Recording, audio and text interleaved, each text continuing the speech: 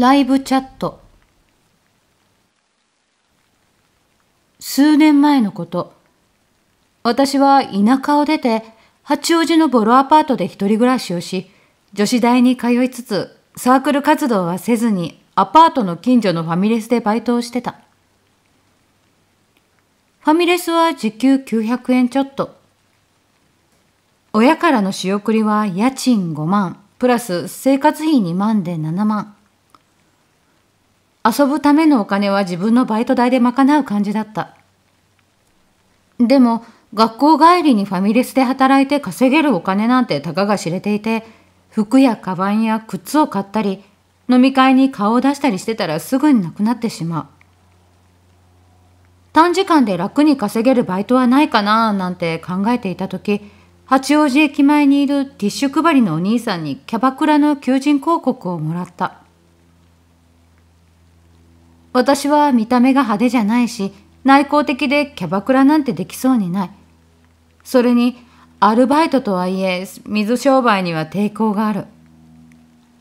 だけど、キャバクラの求人の下の部分には、おしゃべり苦手でも大丈夫というコピーとともに QR コードと URL が掲載されてた。かえって PC からアクセスしたそこはライブチャットの求人だった。ライブチャットというのは女の子がウェブカメラで自分の姿を映して、その映像をサイトを通してお客さんに配信するというもの。映像の内容は女の子によってまちまち。顔を出しておしゃべりする子もいれば、顔を隠す子もいる。露出度の高い格好で出演する子もいれば、普段着の子もいる。エッチな会話をしたり、裸になったりする子もいれば、しない子もいる。サイト自体18歳未満登録禁止だったから、陰部さえ出さなければ脱いでも OK というルールがあった。お客さんはほぼ全員男性。お金を払ってポイントを購入し、ポイントに応じて女の子の映像を見られる。その金額の何割かが女の子に支払われるというシステム。私は早速登録した。カメラは PC 内蔵だったからその日からすぐに始められた。バレることはないと思ったけど念のためウィッグをかぶった。映像の配信をスタートしたらすぐにお客さんが来た。人によっては自制行為をして、いや、脱いでとリクエストが来たけど、それには応じずおしゃべりのみ。エッチ目当ての人はすぐ出て行っちゃうけど、中にはおしゃべり目的で来ている人もいて、そういう人と会話を楽しんだ。不思議とカメラ越しなら喋れるもので、私は身分を偽りつつ、じわじわポイントを貯めていった。1ヶ月するとポイントは5万円分ほど貯まってた。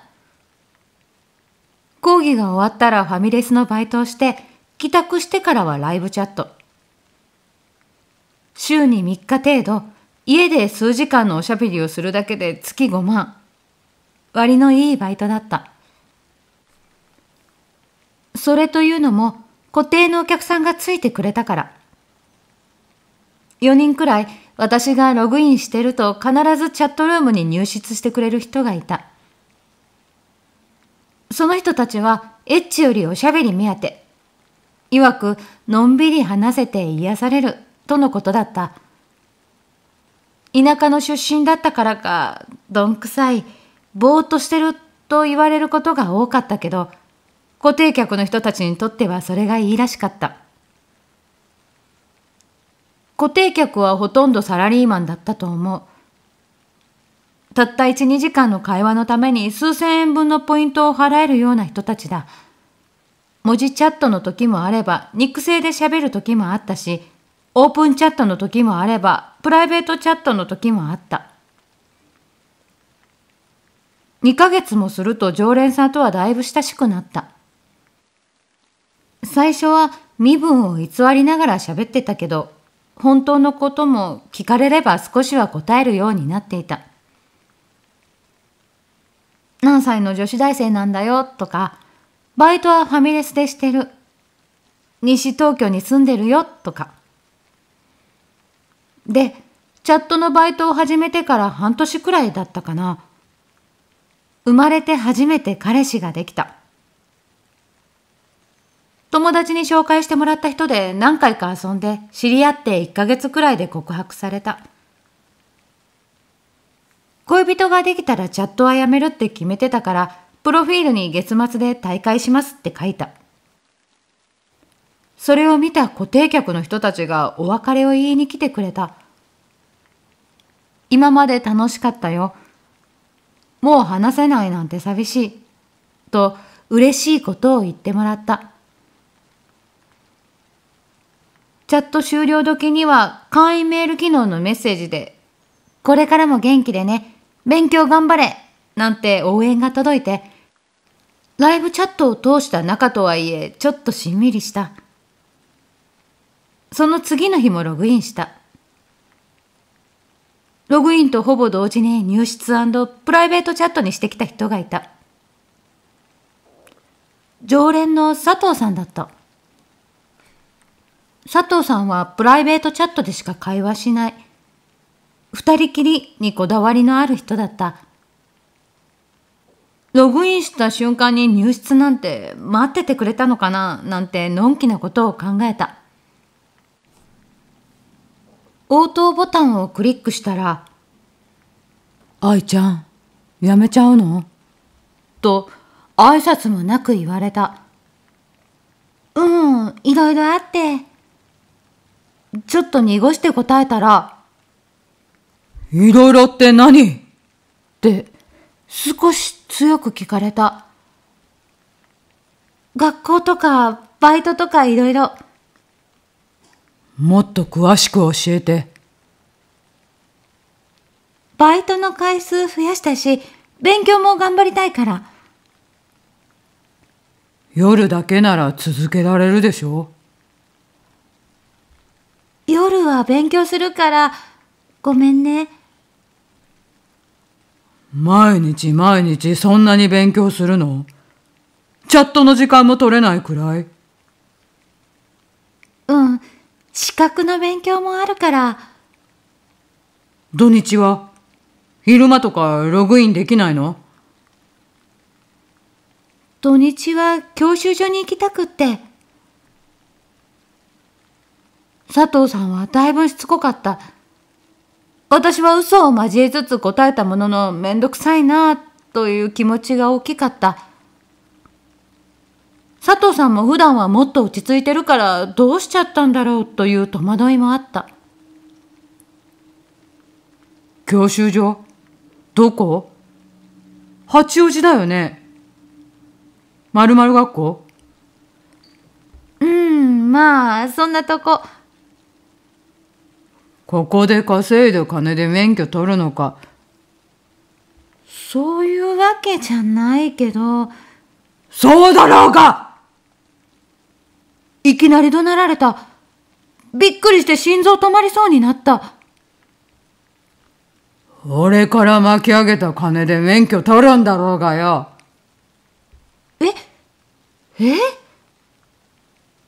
お前にいくら使ったと思ってんだよえ？お前が。ぶつ。会話が切れた。というか、私が切った。キックボタンという強制退出機能を使った。通話が切れてしばらくしても心臓がドキドキ言ってた。5分くらいしたら佐藤さんからメッセージが届いた。さっきは怒鳴ってごめん。つい取り乱してしまいました。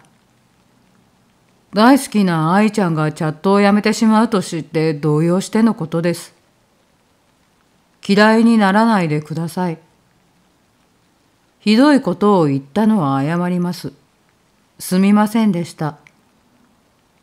どうかまた通話してください。という内容のものだった。驚いてキックしちゃった。こっちこそごめんなさい。今日はやめておきます。月末までは不定期でログインするので、また時間があったらチャットしようね。そう返して、その日はログアウトした。次の日はログインしなかった。二日経ってバイトの後にログインした。また、ログインと同時に佐藤さんが入室してきた。もちろんプライベートチャット。愛ちゃん、おとついはごめんね。開口一番佐藤さんは謝ってきた。大丈夫。こっちもそっけなかったしね。私はそう答えた。あんまり思ってなかったけど。でも、愛ちゃん、本当にやめちゃうんだ。うん、やめるのは変わんない。教習所頑張ってね。ありがとう。八王子だからまるまるドライビングスクール？うんまるまる自動車学校？まるまるドライビングカレッジ？どうだろうね。この人を調べたのかなと若干引きつつ答えを濁してたら、ここで愛ちゃんがチャット始めてもう半年だよね。前に月5万くらい稼いでるって教えてもらったじゃん ?5 万かける6ヶ月で30万だよね。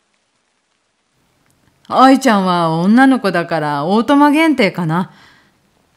オートマ限定で学生コースのある学校に30万円で通うってことは、まるまるドライビングスクールかな。どう？とか言い出した。もう私はドン引きだった。確かにずっと前に月額どれくらい稼げるのか聞かれて答えたし、教習所に通うって嘘もついたけど、そこまで調べてるとは思わなかった。聞かれても答えないよ。あ、当たってるんだ。図星でしょ。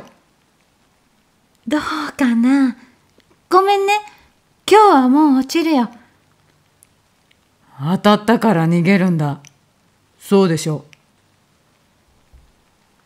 佐藤さんはまだ喋ってたけど私は退出した。この間まで仲良くしてた佐藤さんがもうストーカーの類にしか思えなかった。大会は月末を予定してたけど前倒しにしようと思った。ログアウト前にメッセージを確認したら佐藤さんから届いてた。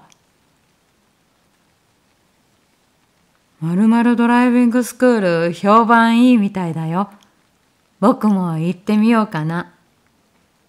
かっこ笑い。学校はどの辺？とか、出身はどこなの？とか、プライベートチャットで二人きりだし、普段は優しくって話題も豊富だし、オープンチャットよりだいぶ消費ポイントの多いプライベートチャットを常にするくらい収入のある人だから、私も油断して八王子だよとか、〇〇県だよとか答えてた。さすがに学校名や住所は言ってなかったけど、そんなわけはないと思いつつ、もしかして私の素性が知れてるんじゃないかと不安になった。彼に相談したかったけど、ライブチャットをしてたことはバレたくない。次の日からチャットにはログインしなくなった。その夜は怖かったけど何日かしたらそんなことも忘れた。彼とのデートに浮かれてたから。でも月末に通帳の記帳したらライブチャットからのお給料が振り込まれてて、それで大会のことを思い出した。気が乗らなかったけど、大会処理をするためにログインして固まった。着信メッセージ100件お知らせ欄にはそんな表示が出たライブチャットのメッセージは最大100件までしか保存されない限度いっぱいに届いたメッセージは全部佐藤さんからだった。愛ちゃん、次のログインはいつ？愛ちゃん、もうすぐ月末だね。愛ちゃん、今日はログインしないのかな？愛ちゃん、今日は教習所かな？愛ちゃん、予定が分かったら返信してね。愛ちゃん、どうしたの？愛ちゃん、見てますか？愛ちゃん、逃げたの？逃げたの？大会、月末じゃないの？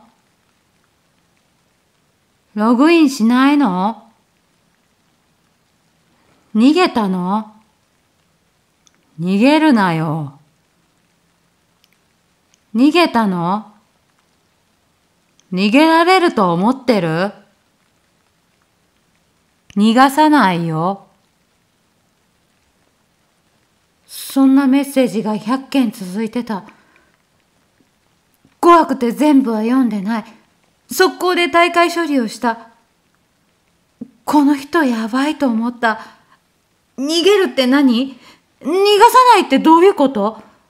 私が何かした？私はパニックになっていた。心臓がバクバク言ってた。たまにニュースで見る上絡みの殺人事件を連想してた。キャバ嬢や風俗嬢に貢いだ男の人がその女性を本気で好きになってしまう。女性の方は仕事でやってるだけだからもちろん恋愛感情なんてない。その行き違いが流血沙汰を起こす。そりゃ私は佐藤さんにお金を使わせた。だけど私は思わせぶりなことは一切言ってないし、佐藤さんを勘違いさせるようなこともなかったはず。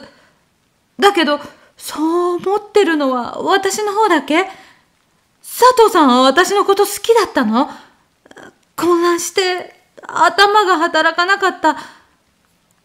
意味なんてないって分かってたけどカーテンを閉めてドアのチェーンをかけた。月末を過ぎてからも何事もなく生活していた。私も安心して変な人だったなって思ってた。だけど、ある日異変が起こった。学内の掲示板コーナーにこんなお知らせが貼り出された。注意。付きまとい事件が発生しました。丸月丸日丸時頃当校の学生が自動車学校を帰りに40代から50代とみられる男性にしつこく声をかけられる事案が発生。学生の皆さんは十分警戒するとともに防犯ブザーの持ち歩きを徹底しましょう。緊急時には助けを呼び、民家に助けを求めるなどしましょう。うちは女子大だったから防犯意識が高かった。入学時には全員に防犯ブザーが配布されるし、付きまといや不審な声かけが起きると学校に報告してお知らせが張り出される。多い時で週に5回くらいあったと思う。いつもは特に意識しないけど、この張り紙には自動車学校とあった。チャットで怒鳴られた時、それから100件のメッセージを受信した時の恐怖がよみがえった。私は学生課に駆け込んで張り紙について聞いた。報告者が誰か問い合わせると学生課の職員は名前を明かすのを渋ったけど、心当たりがあるかもしれないんです、と伝えると、当該の生徒に連絡を取ってくれた。その生徒は講義の合間に学生課に来てくれた。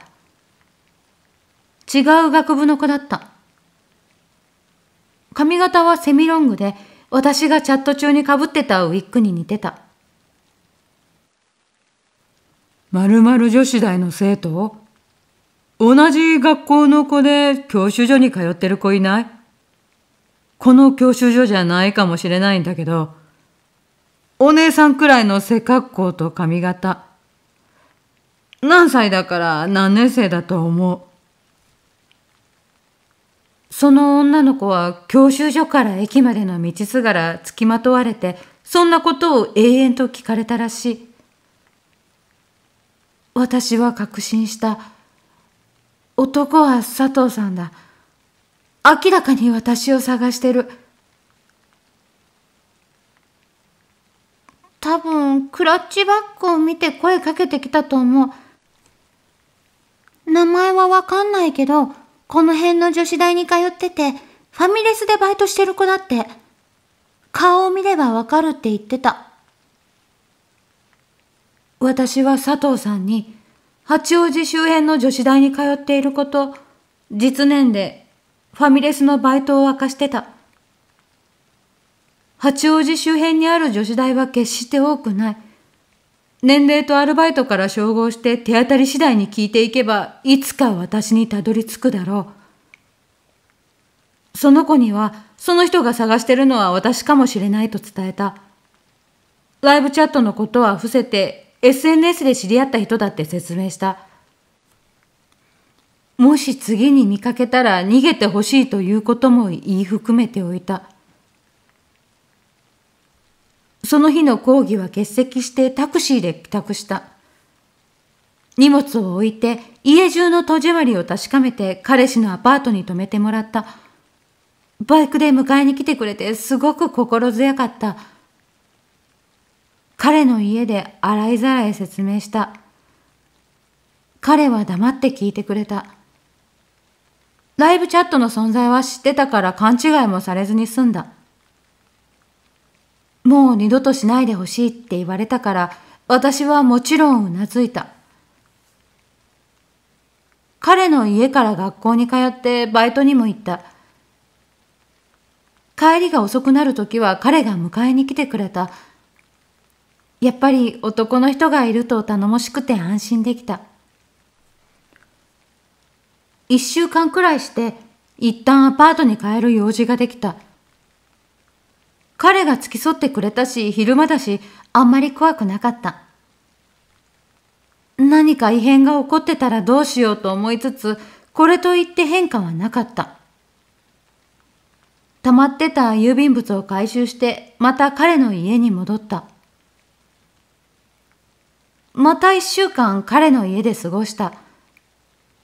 学校もバイトも通常通り通ってたし、トラブルは起こらなかった。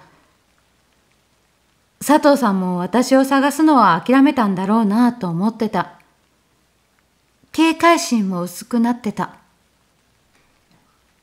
一週間後のお昼くらいの時間、また郵便物の回収に自分のアパートに戻った。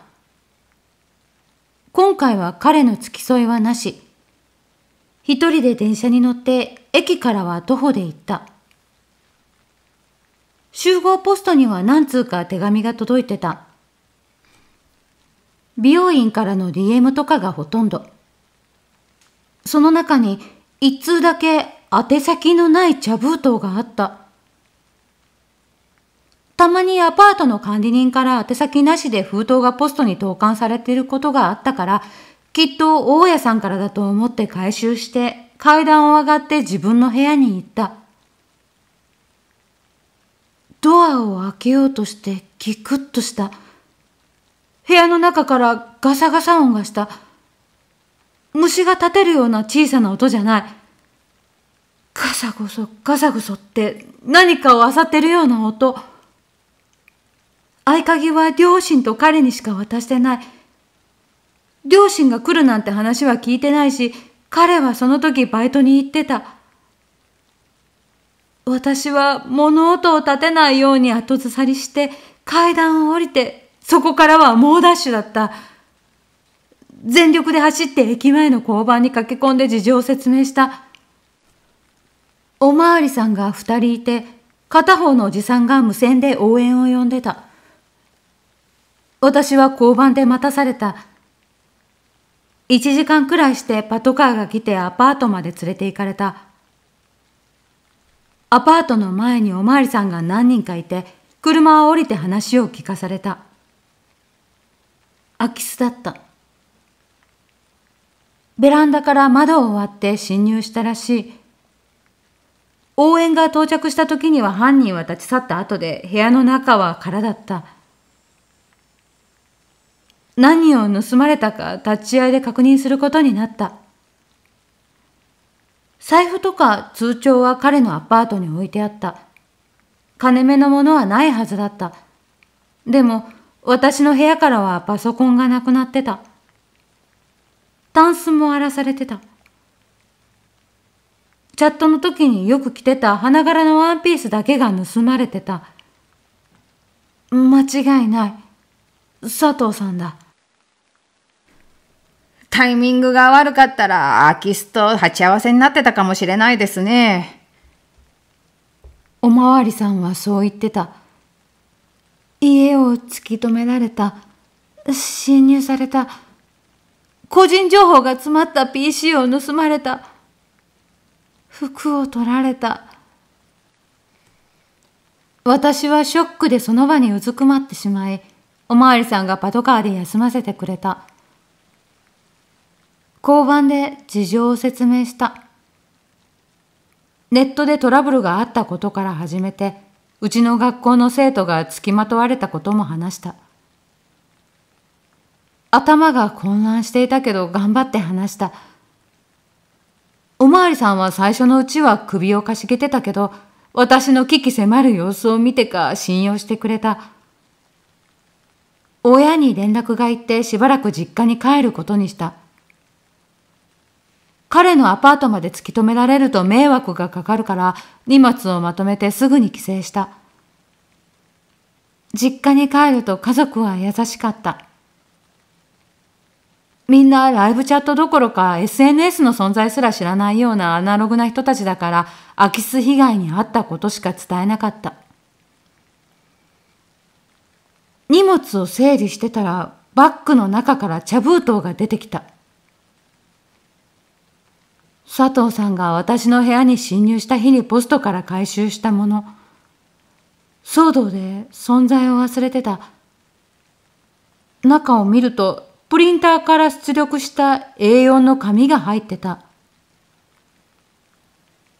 愛ちゃんへ。